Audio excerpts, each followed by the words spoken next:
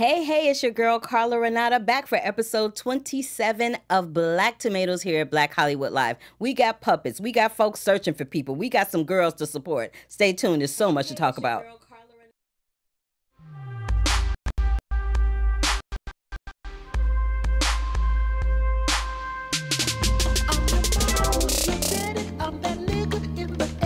Yes, in case you don't know, that is Mr. Curtis Mayfield singing Pusher Man from the Superfly soundtrack. And we'll be talking to the cast members of the updated version of Superfly this year, 2018, a little later on. But right now, how you doing, Scott? Good. How you doing, Carla? How was your week? Good. It was little, good? little long.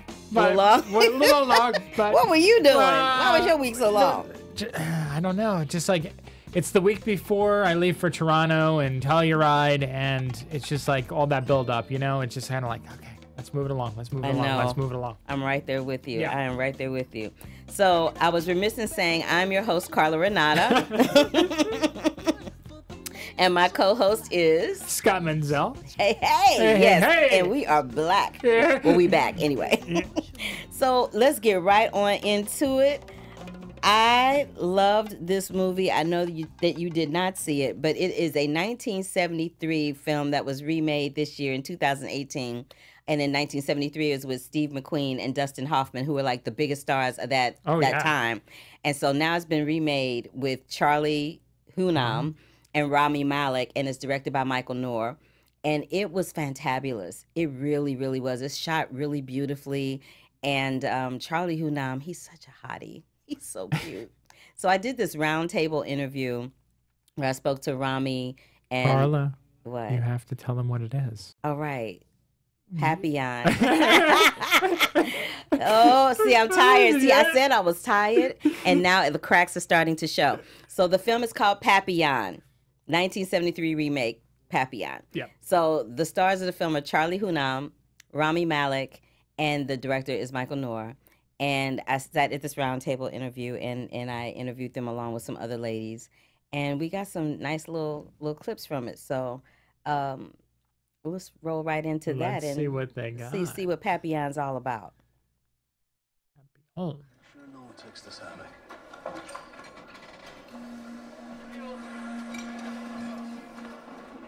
To save you a spot next to me. You've got a lot of eyes on you. I can keep you safe. All I need's enough money for an escape. It Won't be cheap, but you'll be safe. Said the scorpion to the frog. All scorpions in here, pal. I think I'd be better off taking my chances setting up in front of the guards. Wouldn't you agree? You seem like the kind of man who can make up his own mind. You're a good judge of character. Have a good night.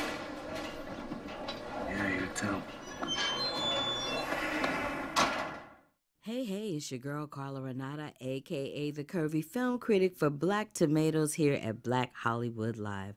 Listen to what the stars had to say about working with each other, losing weight rapidly, working with their director Michael Noer, that infamous cliff scene and what it was like to shoot it, and listen to what Charlie Hunnam has to say about a documentary called Gladiator Days Anatomy of a Prison. Take a listen. This seems to be a film about trust, about two men having to trust each other under really extraordinary circumstances. How did you two learn how to trust each other while filming this motion picture? You either like somebody or you don't, and a lot of that is built in just the experience of, you know, going out and having some dinners together and getting to know each mm-hmm. other and some drinks and a walk around the city, and, you know, just whether or not there's just a, an essence there between two people, you know? And that's why chemistry in all films is so unpredictable, because it's really just whether you like a motherfucker or not.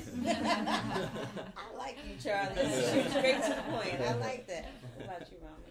I'm have been such a fan of Michael's. He has a very specific, unique form of storytelling, which I think inspires moment to moment creativity on the highest level. So spontaneous creativity, which is I think one of the things you hope you can get from any aspect of the process. Hopefully your own, but when you don't have it in you uh, or it can be cultivated and he's one of the people who I, I've worked with that that I think is really uniquely, specifically talented at that. That moment to moment spontaneity of having things that are, uh, I guess what people might call them happy accidents, happen on screen. That's a major asset to have as an actor. It's a challenge to lose that much weight that quickly. It comes with this duality of like quite a calm and a focus to it and an emotional consistency, but then also within that there's the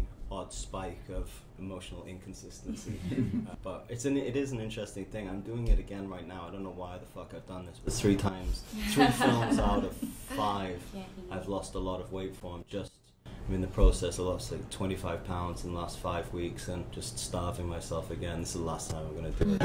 is there a certain yeah. diet that you have to go on to do that, to drop weight that quickly? I, I tend to just go kind of vegan, but but the biggest thing for me is cutting out like the three white devils of sugar, dairy, and flour. Mm-hmm. You know, no alcohol. Yeah, and that was the one thing that you know was you know there was a little bit of negotiation with on this project because you know he was like he, he, can, he can get rid of the three white devils, but the alcohol. Yeah, yeah, that one that one slips by occasionally, you know. Michael, I'm particularly fascinated with how you shot the scene where Papi jumps into the ocean to get on his rap. How did you shoot that? Did you shoot it in two different sections? Him jumping was a stunt person used. Did Charlie do it? Like I'm just fascinated by that. That was a long. like how many well, feet was that? So we shot the jump in itself and then the sequence in itself, but they were actually on the actual cliff. So everything is shot at the same place. Mm-hmm. So uh, so we felt that that was very important. But they're actually looking down. They're really looking down and getting the experience of how far it actually was. So there's no green screen and when they're looking out. So they're That's actually what I was standing interested to know because it so, looked so like it was actually standing on the cliff and trying to listen to uh, oh, where, where, where Papi is and, mm-hmm. and, the other way around, and Charlie is really in the water. Well, Charlie would take off and stop himself yeah. almost before going. Yeah, and it was a little too oh, close. Oh, I don't want to. I don't want you to become a liability by saying this as an actor. I spent 14 hours in a cell in Montreal airport so I did my time. Oh, really? I done my time. I've been working all night and I've been up for 23 hours and this guy was giving me a hard time for no reason. So I said, "You want to do me a favor, pal? You want to lose the fucking attitude?" Oh. he fucking got up and slammed his hand down on the counter and said, "Boy, I will fuck you up." And I said, "Bye." I was like, "Welcome to fucking try." By the time I even got that out, I was already face down in the counter being fucking handcuffed. I was pretty big but not as big as either of these two dudes. not, not, as big as the two dudes who arrested me. There's an amazing, amazing prison documentary called The Anatomy of a Prison. It's called Gladiator Days, The Anatomy of a Prison Murder. And it's about this kid, Troy Kell, goes into prison at 17 for life with no chance of parole. Goes in for murder, so he's already, you know, he's just like a good, kind of tough, good guy. And the decisions he makes within the first 18 months of his incarceration just set this trajectory of like like into the heart of darkness. He said, you know what? I'm not gonna like sell my body. I'm not gonna do anyone's laundry. You know, I'm gonna spend here the rest of my life here. The the, the least I can do to myself is like walk in a man and get carried out a man. And like mm-hmm. fuck it, that might be a month or it might be the next 40 years, but I'm just gonna hold the line. And Jesus, what is required of him to stay true to that oath that he makes to himself is just a real horror story. But the alternatives not any better, you know? Sorry. Based on the little I know of incarceration, I would do everything possible not to put myself in that. I'm innocent, I'm innocent. Most of the film is shot very darkly, except for the one time that they're outside in Devil's Island. Is that a conscious choice? It's very much also what the, the, the film is about. Trying not only psychologically coming from darkness into light, but also visually. And, uh, and I think uh, it was such an ex- interesting experience for me to try to convey a, a, love story, which actually in many ways is a psychological trade, because mm. they start off making a trade-off. I mean, I'll be your bodyguard if you gave me your money, and then the film shifts in trading off psychological attributes. So to answer your question in, a short way, it says that it's light and darkness, it's yin and yang, it's, mm. it's female, it's, it's, it's male, and there are not that many I mean, Eve Hewson gives a great portrayal of the, the female voice in the film. In many ways, we try to keep that tone throughout because even though there's no women, there's still like Jung, you know, the psychologist Jung, he says, uh, anima, any mus, the yin and yang, you know, it's always fighting against us. And you see how it shifts because Papi allows himself to be more feminine, like not literally, but be in, in more balance as the film progresses. And the guy goes into a darkness where you could say masculinity and where you could say Roland Møller represents the darkness of, of the masculinity. There's a lot of things I'm saying here which is not just relevant for what happens in front of the camera, but anyways, that's always what I said to the crew. I mean, you can't expect drama in front of the camera if you're not expecting drama behind the camera. That's It's a good gotta- point. Yeah, I mean, that's a good point. It's Yeah. uh, it's got to work both ways, and I kind of like that. There was a bit of a concern. I mean, this is going to be so heavy and so weighted at times. And, mean, that's what people do in those circumstances anyway. That's how we got through it. But that exists. I mean, you try to bring levity to, to those dire moments. And so we tried to, yeah, we tried to do that as much as possible without destroying the tone of it, shaking it up, I guess, a little bit.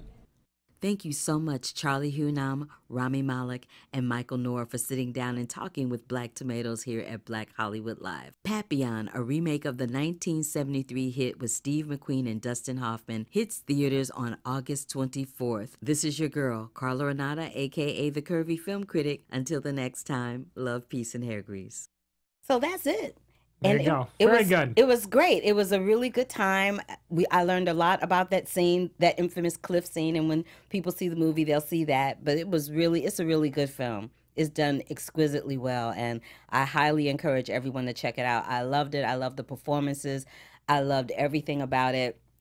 And just to recap very briefly, it is a story about, it's a true story about this man who was framed for a murder that he didn't do. Which what else is new? Somebody's always framed for something.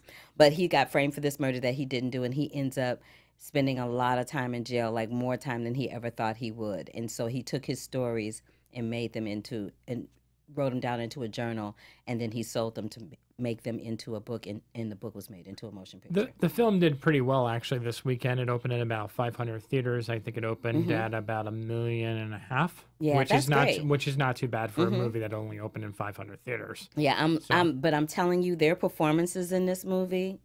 Don't sleep. Don't sleep on Charlie Hunnam and Rami Malek and Papillon. Do not sleep. They should get Oscar nominations. They should. We should see them all over the awards circuit this coming season. So I'm looking forward to that. Moving forward, your favorite film. so this is the thing. I love Regina Hall. Okay. I think she is the most slept on movie star of color that's out there. She's got that all American, you know, sweet little girl face. We've seen her in lots of movies over the years. Uh, best, um, I think it's uh, Best Man, Holiday. Best Man's Holiday. Best Man. How? Oh no, She was in About Last Night, right? she was in About Last Night. She's been in a lot of. She's been in a lot of things. Like yes. there's so many I can't even remember Right. them to name them, but she's been in a lot of films and she's always been like a very secondary character or not somebody that was integral to the story making process, right? So um it was the best best man. That's what it was. The she was in, original she was one, in the the original, original Best one. Man, and she played Candy in that one because they played that song by Cameo called Candy. Yeah, yeah. Loved that. But anywho, I digress. She is the star of this movie, which she also was the star of Girls Trip, which was a big old hit last summer for Yes, her. And they're going to do a sequel to that. That was announced this week that they're going to do a sequel to Girls Trip. So, yay, Regina, we can't wait to see you.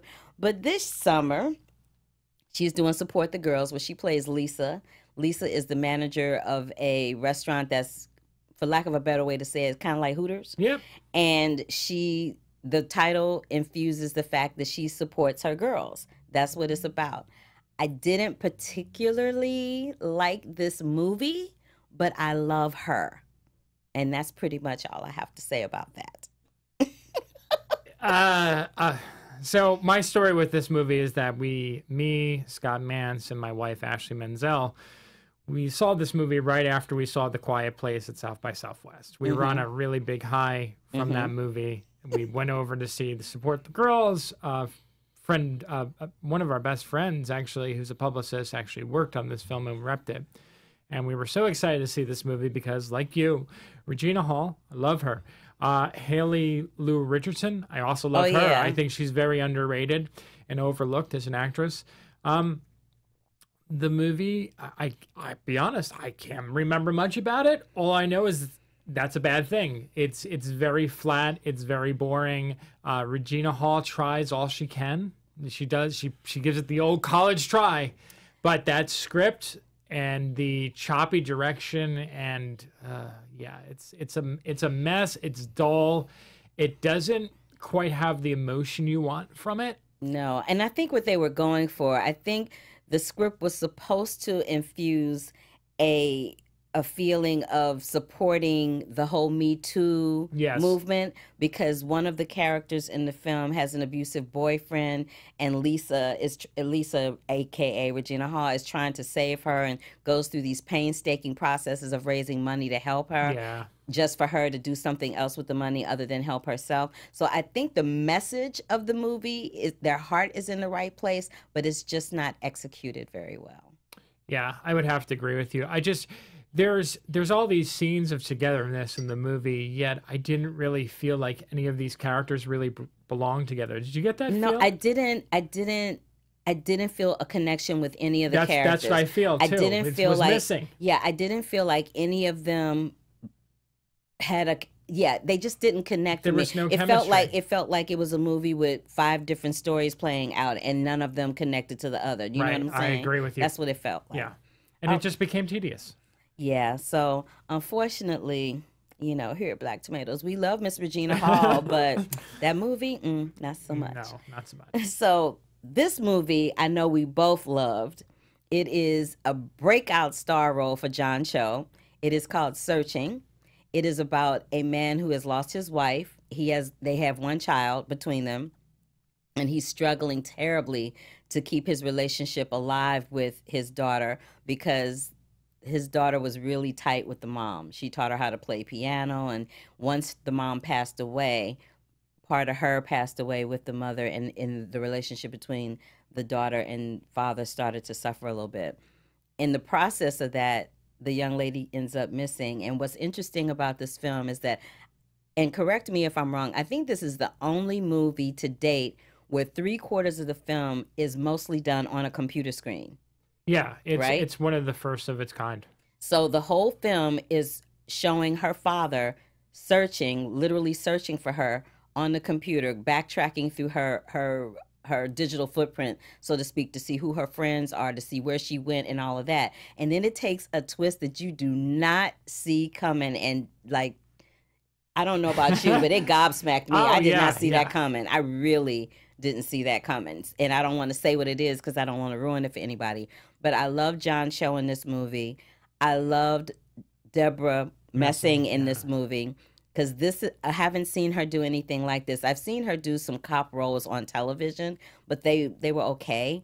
But her role in this, she's bringing it. I, I really enjoyed her. I enjoyed everything about this film, and I enjoyed the performances, and I enjoyed the fact that they took technology where we are right now and used that as a character in the impetus of telling the story. Oh, I, th- this movie is fantastic. This Yeah. is one of my favorite movies of the year. Um, John Cho kills it in this movie, and you know we've seen a few movies like Unfriended, Unfriended Dark Web, and there's been a couple other ones that are slipping my Open Windows. There's been a Mhm. couple movies like this where they've been trying to tell a story through technology, and while I don't really hate those other movies, and I think this is the strongest of the bunch because it's done so effectively. It's And- done very well. and the story is good. See, the other movies where they lack is the story. The story is kind of weak. And this one, it, It was hooks really you right away. Within the first five minutes, you're Yeah. like on top of this movie. You're Mm. into it. You feel this emotion towards this family. You root for them right from the beginning. You don't even really know them. But what's amazing about this is kind of it's almost like a trip through technology like how Mhm. how it how is advanced and invo- evolved over the years. it's amazing when you see it, right? When you think about where we started with the internet and browsing and all. I was just saying this to somebody Yeah. yesterday. I was talking about how um, a little while ago when I was um, doing a show in town, my nephew came to visit me, and it was during that time where you had. where you had dial-up internet. Oh, yeah. And if you didn't have two phone lines, nobody could call you unless you had like a cell phone. Or then remember when it used to disconnect if someone did? And Yes. then you were like, and then you had to "Ah." get back on, and it would take forever to get on because you'd hear all that, all that, all that noise. That you'd hear all Yeah. of that in the process. So I was just saying to somebody, I'm like, that was like maybe 10 or 15 years About ago. 15 years ago. That ago. wasn't that long ago. No. Look how far it's come in like the last 15 years where you don't have to use a phone. You can get on instantaneously. You can hop on a signal anywhere as long as you have Wi Fi capability. Even the cell phones have changed. Remember, the cell phones were like flip oh, phones. Oh, yeah, yeah. Everybody had a flip phone. You remember couldn't, when you texting? couldn't even do video. Remember when texting was the first thing? You were like, "Oh my god!" And they had I that little text, flip yeah. one with the with the little keyboard. Yes. Yes, it had a they called it a QWERTY keyboard, and what was it called? Uh, two-way pages Yeah. and all that. Child, please. I, well, that, that's what I. I mean. The movie starts off and it's like they, they get their first computer and you see it's like an old Windows computer. you hear that sound like da dong, and it comes on into the screen. You know that green and yellow and whatever the rainbow color screensaver comes on, and then you see them registering the computer, and then what I love about this film, I mean, there's so much that I love about this movie, but one of the things that I, I love is how the simplest thing is so effective in this movie. Um, looking at photos, just just him looking at all these photos or listening to something or, you know, and dragging that photo to the trash can. How that much broke my heart. How much of Ooh, that broke emotion my heart. effect it has. That Yeah. broke my heart. Let's take a let's Sure. let's take a look and listen to the the trailer very quickly if we could because it is just the everything that we're saying about this film is just all of that. Yeah. Here we go. I'm the detective assigned to your daughter's case. I need to know how everything unfolded. Understood. I think we're gonna go late, like all night. One, after a study session, Margot didn't return home. Margot Kim, school has her marked as absent today. Two, she didn't attend school on Friday. My daughter is in a lesson with you right now? Margot canceled her classes six months ago. And three, she's been transferring funds for the last six months. We'll handle the ground investigation, but as a parent, you can help us with who your daughter talks to. Is that something you can do? Yes. See, that's what I'm mind answering some saying. Yeah. for me to How he, how he uses how he has to use her, the computer and her Facebook account. This is this film actually is a great tool for any parent that because the kids nowadays, unlike us, we didn't have cell phones, we didn't have the internet, so we actually had to interact with each other. Kids nowadays are on their cell phones. They talk, they don't talk to each other. They don't talk to their parents. So you don't necessarily know who all their friends are. Because back in the day, you knew who somebody's friends were because they would come by the house right? Yeah. They would come by the house, you would go to their house. It was a whole thing. That doesn't happen so much now. So this is a great learning tool, I believe, for any parent out there who is trying to not keep tabs on your kid, but just be a little bit more present about where your child is. Because if something, heaven forbid, happens to your child, like what happens to Margot, you will know exactly what to do to try to figure out what's going on. Because John Cho's character does not, when they tell him, yeah, we've reached a dead end, he's like, mm, no, we haven't. I'm not giving up on my kid. Oh, I, I mean, that that point. I mean, this is you know what this fits as a double feature, a perfect double feature. Eighth grade. Oh, right. Because that one show showcasing like the images of like teenagers online and kind of how like they're viewed upon, like how they they try to reach out to find an audience and Mhm. try to get friendships. Mhm. And this one is it's very eye opening at times because, you know, we always think we know our kids, right? That's that's one of the thing the big things. But everyone has like their secret life online now. Mm-hmm. Everything's about like, oh, who's the Facebook friend? Like, oh, what's going on on this website? And as this movie goes on, you start seeing him investigating more and more. And it's like, who she's been talking to? Does she really have friends? Are these people who she says are her friends? Are they really her friends? Not really. And I think Yeah. it's like watching those two movies this year in the summer. I mean, they came out like a month apart. Exactly. They really kind of do a great justice to showing how much parents should be paying attention to technology absolutely and what their kids are doing. Absolutely. And uh, I just thought this was this is just fantastic. I, I will also say that what's what's so great about this movie is that both Debra Messing and also John Cho have not done movies like this before. No. Th- these are very unique performances from them and career best, if- Absolutely. if, I can say. Absolutely. I totally agree with you. Moving to the Happytime Murders. now, I personally enjoyed the Happytime Murders because, as some people listening or watching may know, I have a very strong history with puppets. Yes. I was in The Lion King and dealt with puppets there, and I was in Avenue Q. And although I didn't operate puppets in Avenue Q, Avenue Q was a was considered a puppet show for um, Adults. for all much. practical Yeah. purposes. Yeah. But the one thing, and this is why I like the Happytime Murders, because it reminds me of the drama that we would go through at Avenue Q. I would see people bring their children in to see the show at Avenue Q. And because the poster had Muppet like puppets on it, they thought it was a kid friendly show, and it was not. It was like Sesame Street on steroids for adults. That's what it was. And that's kind of what the Happytime Murders is. As a matter of fact, their slogan is all sesame. No, is it? No Sesame, no all sesame, street. all street, Mhm. and that's pretty much what it is. But I, it made me laugh out loud. Ah, Carla. It did. Wait, wait, wait. Let's let's show let's show the trailer before before you throw acid rain on it. let's just show the trailer real quick. I'll suck your dick. Well, it's a great price. It almost makes me wish I had a dick for you to suck. Oh, I'll take that as a yes. You two are the most decorated officers in this department. What do you see? Looks like a robbery gone wrong to me. This wasn't a robbery, this was a hit. What the? Someone out there is killing puppets. Hey, handsome. You looking for some rotten cotton? I'm a woman. That's okay. we got a good time for you. We're gonna catch the bastards who did these murders. Carla. Those bodies are blown up. Carla. You're one of the best damn cops I've ever seen. I'll have your badge for this. I'm in the fucking FBI. Oh yeah, what's that stand for? Fucking big idiot? okay, I love this. I know you. I, I- know I- you. I, Listen. I Listen, If I my am a- jaws are I hurting, am- it makes I- me laugh so hard. It's I so am, stupid. I am a fan of all things Muppets and puppets. But this movie, I mean, you watch that trailer, you see most of this movie. That's the problem with this movie, is that you see all the gags that they just keep throwing at you repeatedly throughout this movie. And I love the, the worst part about this movie, for me at least, was that I liked the fact that they were cursing. I liked the whole violence aspect of this movie. Let me tell you, the favorite part was that ejaculation sh- Ah. scene.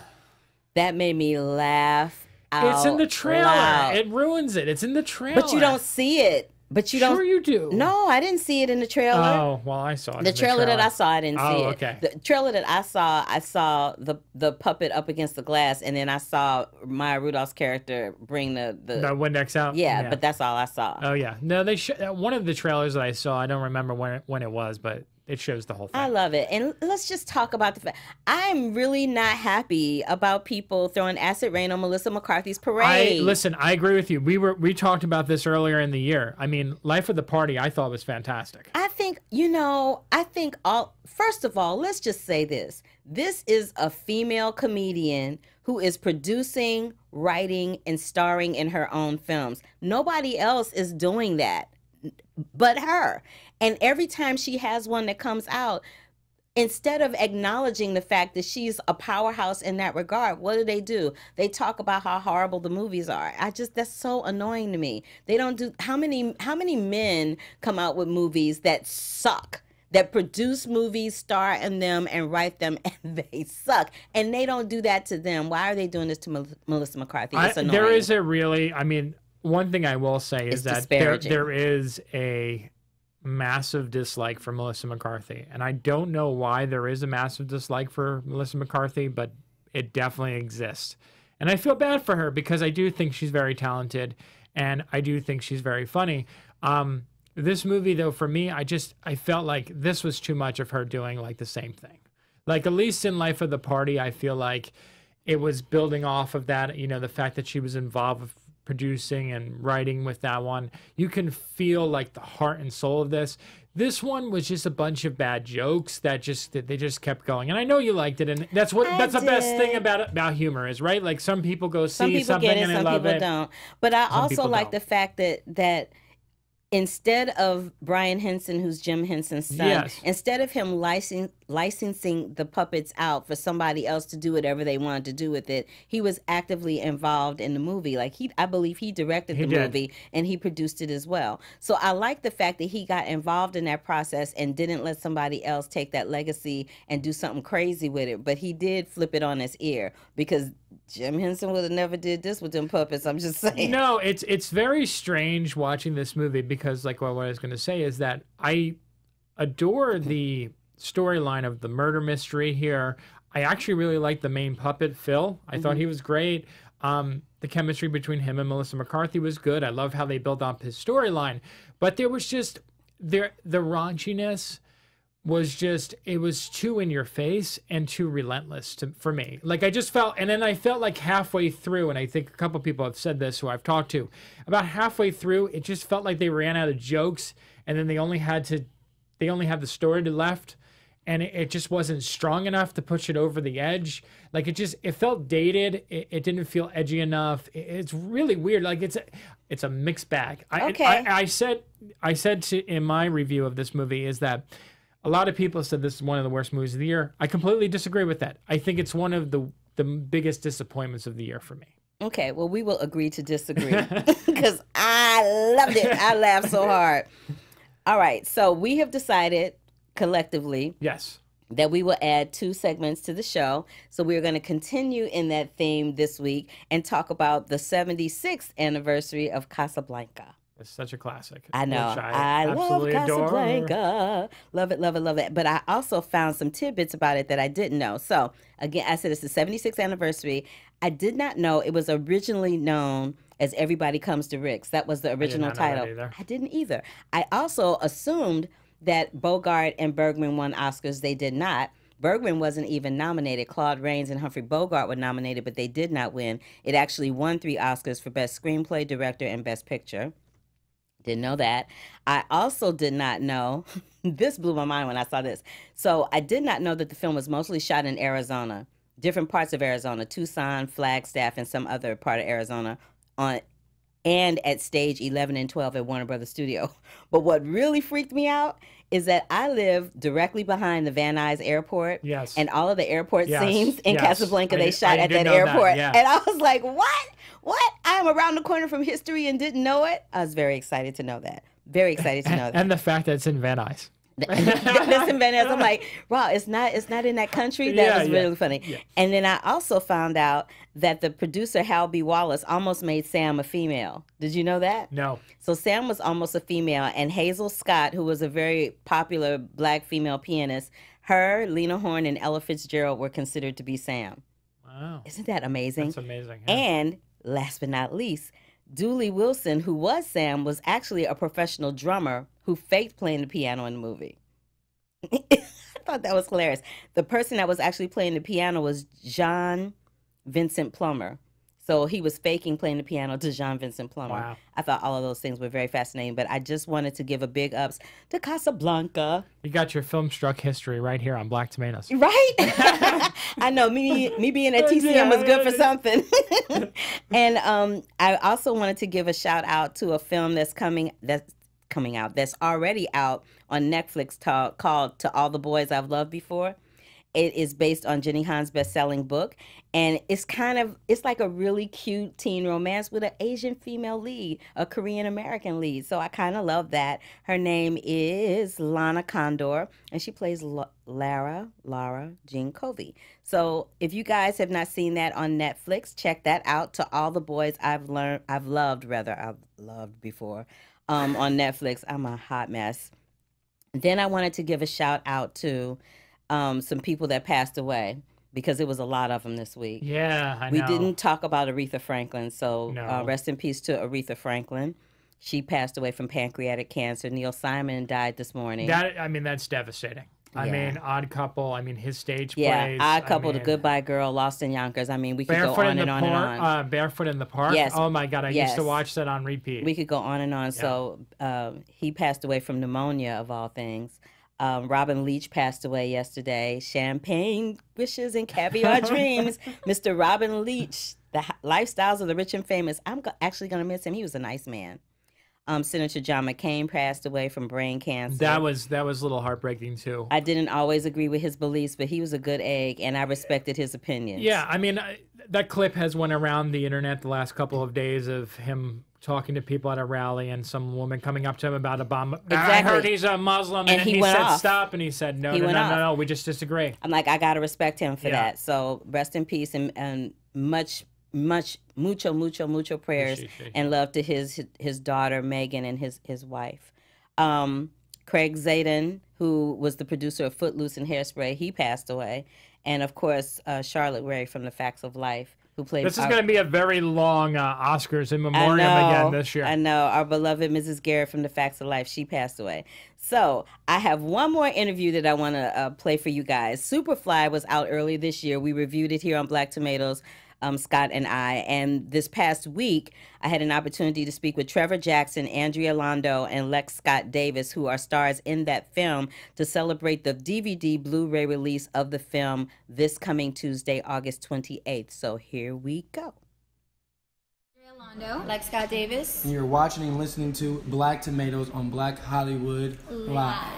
Yes! Instead of black exploitation, we're having a black exploitation right Mhm. now with I'm Sorry to Bother You, BlacKkKlansman. Hate You Give? The Hate You Give is coming out. Blindspotting, all these films are coming out. Crazy Rich Asians, and they're really turning. I gotta see that. I can't wait to I see gotta that see movie. that. I gotta see It's that. really good, y'all. But it's really turning the movie industry on its head because instead of our stories being told by other people, they're being told by By us. us, yeah. So I wanted to know how you guys feel about that and what you'd like to see, what kind of stories you'd like to see about us in the future. I, I love how like a lot of movies are showing like what's what's wrong with this culture when it comes to being like a black person, but I would love to see a movie that's just like story about a normal guy who just goes through normal things. You know, I feel like it always has to be like uh, whether it be a slave movie or like a struggle or something like that. I would love to see a guy who's just like a lawyer and maybe he's just like you know has some wife issues or you know just I feel like human struggles and I think um, that's kind of what would bridge the gap. I feel like sometimes. We had that with Roman Esquire with Denzel. Remember that? Yeah, film? Philadelphia? No, no, no. Roman Esquire. Roman Esquire. He Oh, played, oh, he oh, played yeah, a yeah. lawyer. He Yeah. played a lawyer that was he was like a savant, so yeah, to yeah, speak. yeah. Yeah, so yeah. I love it. Things like that. But I mean, I love all of it as long as it's told well. But I don't think it always has to be about, oh, the, you know. Yeah, I agree. I agree with that. Sorry, were you gonna say something like that? Yeah, I interrupted you. No, just because I think it's great that you know, like people take their own power and start telling their own stories and start getting their name out there and you know everything that they want to create. That's great. But at the same time, I do think that there needs to be more like you know it doesn't have to be a like an asian movie it doesn't have to be a black movie it doesn't have to be a latino movie like that's fine and that's great and valid and it can totally keep happening but i think true like step forward You wanna see more diversity just, with but all just races. inclusion you know what i mean Yeah. like like sometimes like you see stories getting told about like what he was saying a lawyer a husband with issues like a couple their kid dies whatever and i feel like there shouldn't be a point of making any of these actors any ethnicity because that's not america Mhm. and that's not the world in general and i feel like that's still something that needs to be worked on you But know we only get seen if we're talking about that, or people only respect it if we're talking about that. You know what I'm saying? Most definitely, I do. It's like you know, uh, I hate to go back because this is a while ago, but like even like the help and like all these things. Those are the only time you get an Oscar look is when it's about oh what thing did you have to go through, and it's like yeah, people should know that story, but it's like that's the only time we recognize is when we feel like we're like the lesser of the two. Well, you feel me? to your point, um, Octavia Spencer, who was also in the help, she did get nominated for Hidden Figures, and. Yeah. that was a story about female was a- actors. As female, but still, it was this the struggle of them being black, and the Yes. way they could do it was because you know I what I'm see. saying? So you're It's like saying, that. can we see something without the struggle happening? Yeah, but I mean the That- struggle's yeah, real, but okay. that's oh, that's not who we are. Even though we had the struggle, we overcame the struggle. You know what I'm mm-hmm. saying? But there's people- other stories that can be told Yeah. I this- agree yeah, with that's both of you. You were saying for sure, wholeheartedly. Mm-hmm. And when you brought up "Sorry to Bother You," it actually it jumped out because it actually does and supports everything that we're actually saying. Because unlike those other films, Boots Riley really took a moment to just tell a cool story that was relatable on so many levels. Not just because the main character was black. Like you said, it wasn't a it wasn't a color based movie. It was an inclusive movie about this telemarketing world. It was really weird and wacky and cool, but also had a lot of um, subliminal meaning behind it. So that was one that actually excited me about where the film industry is going because I think Mhm. a lot of people recognize exactly what they're saying and they're tr- trying to figure out how to be innovative and steer in a different direction. Absolutely. So I'm gonna take us in a different direction right now. All right. and let's swing back around and end with something about the film. So it's coming out on DVD. What is the one thing you want people to take away from Superfly when after they see it? If they didn't have a chance to see it in the theaters, they're now gonna, you know, have the DVD or they're gonna stream it via a streaming service. What is the one thing you want people to really pay attention to when they see this film? Uh, I think um, my favorite thing is the unity amongst black men. I feel like me and Jason's relationship really speaks volumes to how I feel like the world should be. I think it's hard for a lot of black men, especially, just to like give love and like feel like they can do it together. It's always like there's only so few spots, so I gotta beat you and I gotta be better than you, and it's like there's not a lot of. But I feel like this film, Priest can do anything without him, and it actually without the women too. I think the women are represented very well in the film too, and just a more leadership light instead of following the man. They're kind of giving the man instruction and kind of you know showing that support system. But yeah, I definitely think the unity amongst amongst men is hard. We seen all these videos, we kill each other. It's like why? why? I know. drives me nuts. I know. Yeah.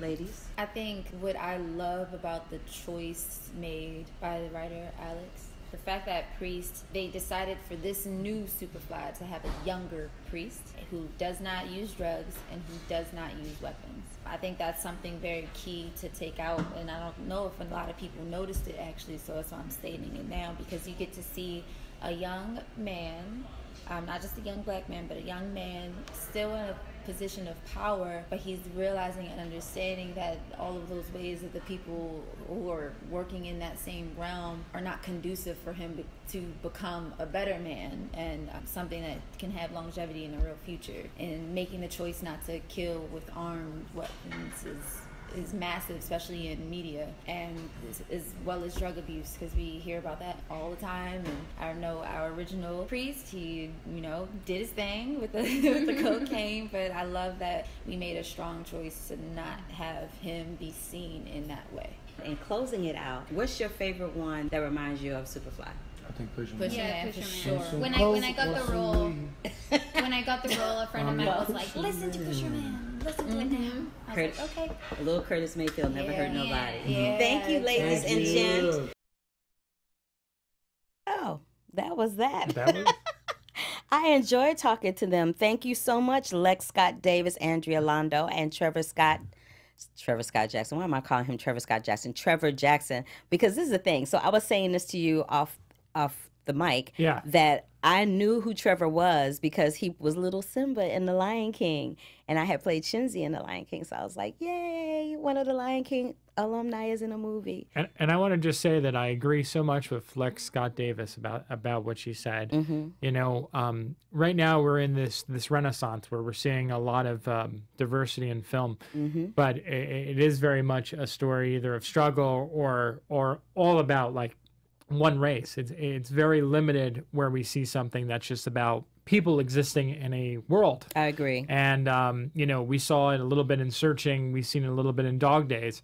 But I think that's the natural progression that we need to get at, where where they look at something like this movie that's coming out with Octavia, Mm. that she's starring alongside Jessica Chastain, and Mm. just like having that as a natural chemistry, you know, and then Yeah. showing someone else in there. Well, that's the world that we live in. Right. The world that we live in is very diverse. I mean, and there are lots of races that have mixed. So there are a lot of people of mixed race running around, you know, the world. So it's going to eventually get to a point. I'm sure it's not going to take us long to get there, but we'll eventually get to a point where you won't have to say it's a black movie or a Latino movie or an Asian movie. It'll just be a movie.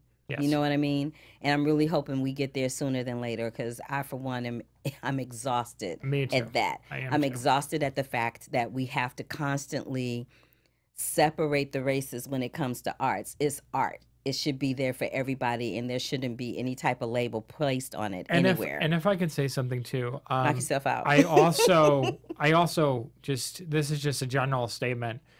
I I hate it that even in the press circle that they do that with us. Like they try to figure out like, oh, who's gonna like this movie? Who's this movie for? Let's just assign these people to this movie. Yeah. that really bothers me because it's getting better, but it's But, not yeah. getting better quicker quick enough. No. Like I was complaining not too long ago about the fact that when Ocean's 8 came out, I wasn't even invited to cover that. Not only am I a woman, but I'm a black woman, and there are black people in that film. Like for real though, like it was Ocean's Eight. It's a film about women. Why was I not given that invitation? And I wasn't the only one. Like a bunch of women were complaining about that. Black, white, otherwise, they were all complaining about the, how they didn't get an invite to that. Oh, and I there's a couple people, and I won't mention them by name, but there's a couple people who I know of, you know, black black people at junkets, and um, we, we we laugh and we share stories. And one of the one of the the main gentlemen, you know, said that whenever a movie comes out, uh, let's say Mission Impossible, uh, they say, "Can I talk to Tom Cruise? No. Can I talk to Rebecca Ferguson? No. You want to talk to Ving Rhames? We'll let Yep. you talk to Ving Rhames." Yeah, they did And- that, and, and I think they- that's and- really messed up. Yeah, they do that. They when a film like uh, um, when American Assassin came out, I asked could I speak to Michael Keaton. They were like, no, but do you want to talk to Sanaa Lathan? You know, like no, I so want to talk what- to Michael So what? I'm gonna have man. so I'm gonna Yeah. have different questions for Yeah. Sanaa Lathan than I'm gonna have for Michael Keaton. Like, come on, Yeah. it's just it's annoying and it's insulting. It Yeah. really is. It's quite insulting, but hopefully that will change. So tomato meter. I know you didn't see Papillon, but I'm giving Papillon a five. Okay, Um, Happytime Murders. two and a half. I give it four because I Okay. liked Happytime Murders.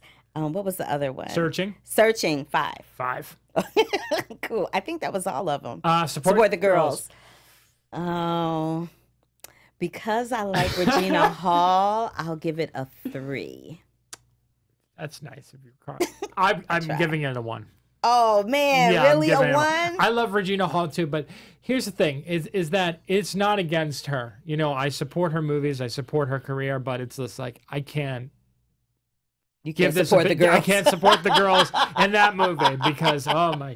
Oh my no, goodness. no. Okay. And I'm done with that director. I, I don't know who that the director also did another movie, and I don't remember the name of it, but he did it with the girl who was on How I Met Your Mother, who's Mhm. also in the Marvel movies, Mhm. and Guy Pearce. And I can't remember what the name of it was, but I remember watching that movie at Sundance, and I was like, "This is bad." And then I saw this one; it's the same director, and I'm like, "Okay, I think I'm You're- done with this guy. I'm- done? I think I'm done." Okay. Yeah. Well, I know next week you'll be on your way to Telluride, Yes, right? And then right after that, you'll be at Toronto, where I'll join With you at you, Toronto. yes. So we will not see you next Do week. you want to tell them that we're going to actually do some stuff remotely? Yes. So we're, but not next week. Week after next. So this will be the week of September fourth. We're gonna do some remote stuff from Toronto. Scott and I for Black Tomatoes. So be on the lookout for that. Next week, I'm gonna have somebody here with me. I'm not quite sure who that's gonna be, but it'll be somebody. And next week, we we will be talking about Operation Finale and Ken. So there's that, and I have an interview that I'm doing with uh, one of the stars from Ken, which is produced by Michael B. Jordan. We'll have Miles, one of the leads from that, and he's probably going to be on an interview at Popcorn Talk. Oh, very nice. Very yeah. nice. So check that out. Um, you can always find me across all social media platforms at the Curvy Critic. You can also find me here every Sunday, five o'clock on Black Tomatoes here at Black Hollywood Live. Go to iTunes, give us five star rating, give us some comments there. You can always comment and chat with us in the chat room at YouTube and subscribe to our YouTube channel. And work. Oh, and you can also find me right after this at the GH Report on AfterBuzz TV. And where can we find you, Scott? It's it doesn't the list just seem like it just keeps It getting keeps longer, longer and longer. and longer. I mean, every time I do this now, it's like, oh, okay. Well, first and foremost, I am the founder, main journalist for We Live Entertainment. I do a lot of written reviews and interviews. Make sure you go there over the next couple weeks because every day, I guarantee you, I'll have something, or Ashley Menzel will have something, but there will be something coming out almost every day for the next three weeks. So, Toronto coverage and Telluride coverage is going over there. Uh, what else? You can find me on Twitter. You can find me on Instagram, the other Scott M. I do this wonderful show with this wonderful woman right next to me every Sunday at Black Hollywood Live. I do Meet the Movie Press, which is a movie news show eh, and we do reviews now too. So we're like we talk about stuff uh, that is on fridays at 9 a.m on the popcorn talk network. And then carla who also comes on this show from time to time and it's a great uh, organizational show because we support the la online film critics and that is la ofcs weekly 11 a.m fridays on the popcorn talk network. Ooh, I almost forgot, you guys. During the month of September, I know it's all it's never ending the, the announcements. During the month of September, you can find yours truly doing a segment on musicals, There you the go. Black Experience on Film, which is sponsored by AFCA, the African American Film Critics Association. We are doing a month-long series at Turner Classic Movies on the Black Experience on Film. So check my segment out on September 18th, but support the whole series, which begins on September 4th every Tuesday and Thursday. So now that Scott and I have gotten all of our all of our announcements out of the way, it is time to say goodbye. Scott will see you in two weeks. I will see you next week. Thank you for joining us. And until the next time, love, peace, and hair grease. Deuces. From executives Keven Undergaro, Dario Kristen, Tiana Hobson, and the entire BHL staff, we would like to thank you for supporting Black Hollywood Live, the first online broadcast network dedicated to African American entertainment. For questions and comments, contact us. Info at blackhollywoodlive.com. Like us on Facebook, tweet us, or Instagram us at BHL Online. And I am the official voice of Black Hollywood Live, Scipio. Instagram me at KingXOBay. Thanks for tuning in. Hollywood redefined. The views expressed here are those of the host only and do not necessarily reflect the views of BHL or its owners or principals.